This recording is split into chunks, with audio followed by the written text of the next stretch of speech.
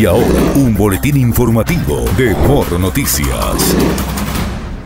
Mantienen cuatro provincias en alerta amarilla y aumenta 14 en alerta verde por posibles crecidas de ríos, arroyos y cañadas, así como inundaciones urbanas y repentinas. En verde continúa Valverde, Montecristi. Centenares de personas accedieron este martes al aeropuerto de la ciudad haitiana de Lescayé al suroeste y causaron destrozos en las instalaciones de la terminal y en al menos una aeronave que estaba en el lugar. Leonel Fernández afirmó que la desunión ha llevado a América Latina a convertirse en una región irrelevante en la política mundial.